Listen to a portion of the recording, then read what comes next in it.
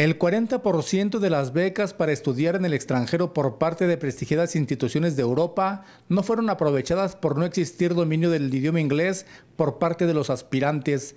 El director del Consejo Estatal de Ciencia y Tecnología, Lauro Cortés Hernández, dio a conocer que se desaprovecharon 21 becas para ir al extranjero. Eh, acabamos de salir de la entrega de becas para estudios en el extranjero, 39, 39 eh, becas eh, para estudios en el extranjero, predominantemente en Reino Unido, Alemania y Países Bajos. Nosotros teníamos 60 becas disponibles, entregamos 39 y uno de los factores por los que quedaron desiertas las restantes tiene que ver con el hecho de que es mandatorio que los aplicantes eh, tengan un puntaje de inglés adecuado para este tipo de estudios de posgrado.